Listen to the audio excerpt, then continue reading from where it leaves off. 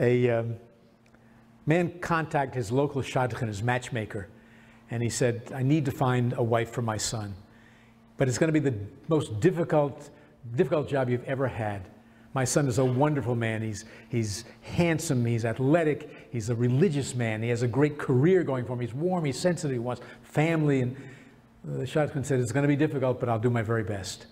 A few weeks later, he calls, I think I might have found the woman for him. She's a beautiful woman, warm, sensitive, a religious woman, generous, uh, wants a family, has a great career going. And, and the, the, the, father says, she sounds like exactly what we're looking for. But let me, let me ask you a question. This is the 21st century. We're modern people. Is she a good lover?